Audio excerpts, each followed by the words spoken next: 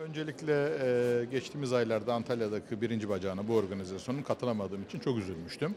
Ancak bu sefer İstanbul'da olan organizasyona yoğun bir programımız olmasına rağmen e, özellikle katılmak istedim.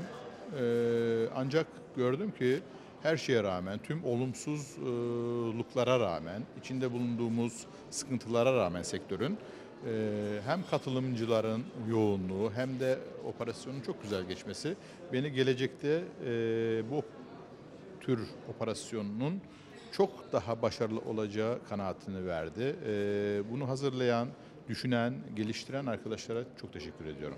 Çok başarılı.